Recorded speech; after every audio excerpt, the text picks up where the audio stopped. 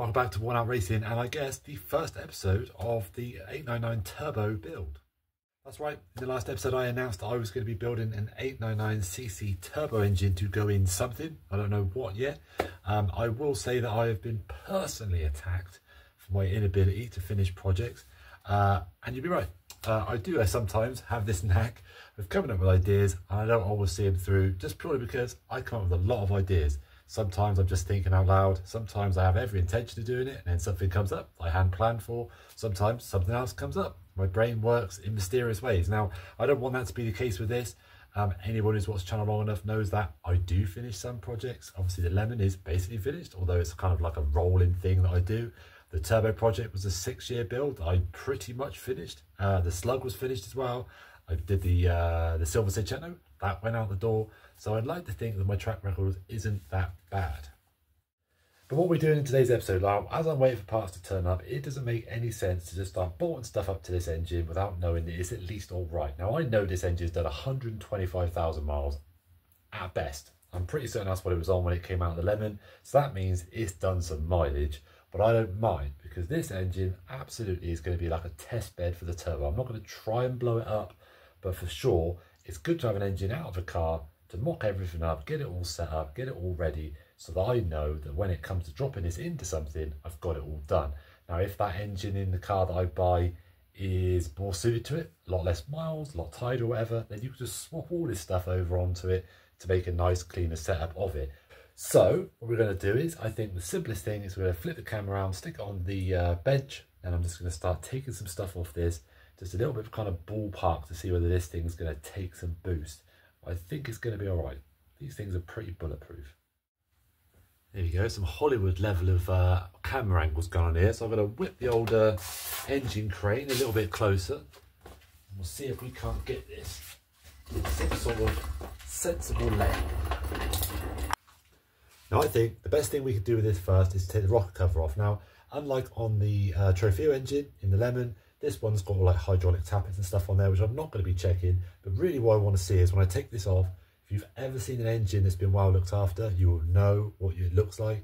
If you've ever seen one that's been really unlooked after, you will also know what it looks like. It'll be really sort of black, gungy, and just lots of deposits and stuff in there. And it looks awful. Whereas if it's been regularly serviced and it's looking pretty good, it should be at the very least kind of like nicely golden. Everything's looking fairly clean, even if the oil's getting a little bit old, it should be good. So that'll just give us an idea, especially we'll see if the cam's got any scoring, any of that kind of stuff on it. Then we'll drain the oil on it, flip it over, and then we'll have a look in the pan. Uh, and we'll see what all the bearings and stuff like that's kind of looking like. We're not going crazy, just want to make sure this thing is dead before I then make it more dead by you know shoehorning turbo into it. Now, I'm sure none of you need to know this, but these are all Allen key bolts. On the normal sporting one, obviously, it's only just a few bolts around the outside, but on one of these, You've also got four around here as well, because again, any of you don't know these engines very well, this is the inlet. So the inlet is actually part of the rocker. It goes through here. When I take this off, you'll see what I mean. The actual inlet is just one hole right on the side of the block. And the inlet splits off then each into each one of the cylinders. So not an ideal situation for a turbo setup, but it'll work. And just because you know I like to share top tips with you, get yourself something like this. I think this is like a tray out of a baby high chair or something. If you ever see anything like this where it's got little sections in it, just get one. At the very least, you know everything that's in here is to do with the project you're on. But obviously you can separate stuff off. You can like mark little boxes, whatever you want. So everything I take off this engine for the time being, I'll be binning into this. Okay, that's all the bolts off. I had to give it just a little light tap with a hammer, just a mallet, sorry, because there's a little bit stuck on there, which may mean it hasn't been off for a long time. Let's peel this off with the gasket as well. Let's have a look. Now, that looks like it's starting to get, and I do you see what I mean when I said if you start to get this kind of black gunge up in here, that potentially means it hasn't been serviced quite as often as it would probably like. I mean, we've got to be a little bit nice here. I mean, it's done 125,000 miles. I mean, how many of these do you ever hear of that have done 125,000 miles? And I've just noticed something. As soon as I took this off, and I don't know if I remember this or not, but somewhere between this engine coming out and the other engine going in, this is lost its rocker set. You can see that there's a uh, random tappet sat in there, which is uh, a little bit confusing. That might be a little bit of a problem. Now, I'm not saying it not having a rocker setup in there is a like a game changer, because let's face it, I could get another head for it, and that wouldn't be too much of a deal. I probably could track down a set of uh, rockers for it, because I'm sure one of my friends has probably got a set lying around.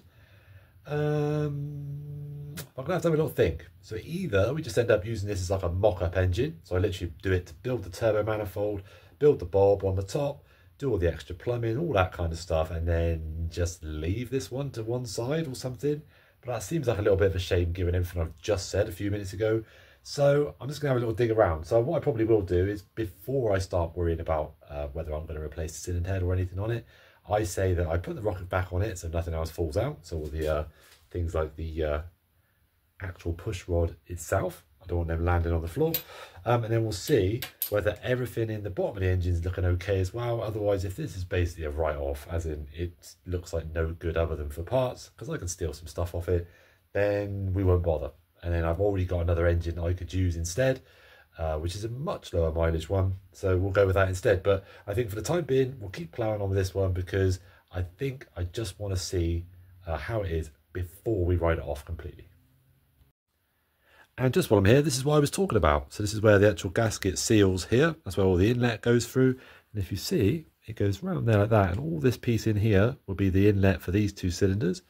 And if you look down that one, it goes down there, and that's the inlet for these two cylinders. This is why these don't really have a lot of scope to open this up and do all that kinds of stuff. Uh, the one on the lemon has been very slightly polished. They've took some of these edges off, kind of cleaned all this up. Now you will see in some more extreme scenarios when people turn these into like rally engines and stuff like that, when they have to keep the engine, uh, there is a thing where people will actually will drill out. They get an engineering shop to basically weld this over and then drill out each of the individual uh, runners and then build a more of a traditional kind of setup off the side. It's really expensive. I won't be doing it. All right, come on then. Let's see what chance I've got of getting all this oil out of there into this pan.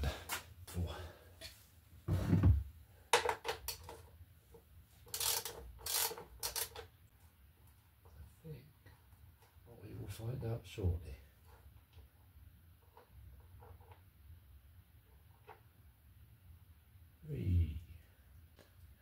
Glub, glub. Right, here she is all flipped over. And don't forget, even if you think you've got all the oil out of it, still put a pan or something on there because sometimes it can all run back through. It takes a little while, but you'll come out and find a nice little puddle on your floor. Now, just before I carry on, I will continue to cuss this phone down because my wide angle lens quality on this is terrible. So I don't think I'm going to be lasting very long with this junk before I have to swap it for something else. But anyway, just going to start working our way around. There are millions of these little bolts all the way around there. So if you have your little Dakka Dakka like I have, it tends to be a little bit easier to blast around with those. I said we'll give it a little look. If nothing else, if all we end up being able to save off this engine is having a decent block with the pan and everything, and I'll just take the head off or leave the head on it, wrap it up, stick it in a corner, then should we grenade one at some point, at least we've got old trusty. Oh.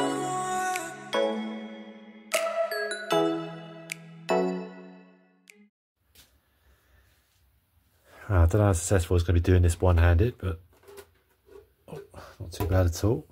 This has actually got a gasket on it. Nice. Now, I mean, I've seen worse. Not too bad. I'm having a little rummage around there in a minute, see if I can find any metal, but okay, looks all right. Looks all right, I'm going to say. Uh, Okay, that looks, I think, like a bit of silicone, so that might be alright anyway. Nothing terrible in the, sorry, let me go back. But nothing terrible in the pickup tube. It's not like massive chunks or anything. I wasn't really expecting it to be. I mean, this thing was in use before it got swapped over for the Trofeo. Now, I said you will see, and again, it's unfair to really pinpoint on a car that's done 120 odd thousand miles. I mean, it looks all right. I mean, no, you can see obviously their chain drive. Chains are looking in really nice condition, actually. Uh, see the cam down in there. So obviously this is a cam in the bottom of the engine for these ones with the push rods. There's a little bit of a weird setup. Now there is one weakness on this, which my Italian man Claudio has told me that it worries me about, worries him, sorry, about me turboing one, is the crank is only bolted in three places. So on the normal 1.1 fire engine, you have four uh, girdles, bearing, main bearings for the crank. And these you only have three. Now, I don't think that's going to matter. Honestly, for the amount of power I'm going to try and put through one of these, I don't think that's going to cause me too many problems. Now, I'll put the camera down. I'll have them a little rummage through this just to make sure there's nothing terrible looking. Uh, obviously, if you were being really serious, you could take some caps off just to make sure the bearings and stuff look all right. I mean, uh, you know, as a starting point, it looks okay. So we'll see. Now, another little tip for you, at least for this type of engine, is if you turn it over, which you should be able to easily, you can also take a little look down, and you're going to be able to see this very well, be able to see the actual cylinder walls for each cylinder. So you better see if they're looking super, super scored or anything horrible like that. Again, I'm not expecting them to be, be able to see it. And like I said again on these ones, because the cam's down here, you'll be able to see if the cam is looking horribly worn or it's got a lot of heat go through it. So it's been a couple of days since the last clips that I filmed, I think. Um, I've taken a little bit more time to look at the engine. I've thought about it a little bit more and I've decided it's not worth it. This engine is toast. I just don't think it's going to be worth putting boost through it. I think it's had a hard enough life as it is. I think I'm probably just going to take some stuff off it, keep the bits that are useful. I'll definitely take the cam cover and a few other little bits and bobs like that, just in case. I might keep the block and just bin the rest of it because I need to get me a new engine for this project. Uh, and I've already found one. So I think I need to make a quick call. Good morning, Worn Out Racing's bank manager.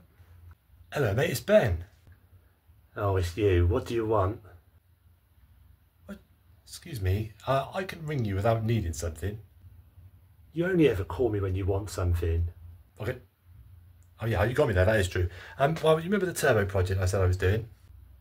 Yeah, yeah, yeah, I know the one, the silly one that you came up with last week. Yeah, that one.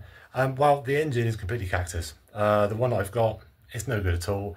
And I was thinking about my finances and it makes more economic sense for me to uh, buy a new one, really. So I've managed to find a uh, nice low mileage one that comes with a gearbox, uh, manifold, uh, throttle body, all of it. So actually, I'm saving money. I mean, looking at the numbers, for once, this isn't one of your stupid ideas. So yeah, it probably does make sense actually. Okay, I'm glad you came round to it in the end. But I mean, as long as that's all right, then I'll uh, I'll put the purchase in and ask for it to be delivered ASAP. Yeah, go for it. I'll uh, I'll put the invoice through now. All right. Yeah, well, if that's all you got, I've got a lot to do. By the way, I bought another car. That's right, I've bought another car and it's not Italian. So join me soon to see the new engine and for me to reveal, hopefully in the next couple of weeks, the new motor. And no, I'm not putting a 900cc turbo in this one. That's for something else. See you soon.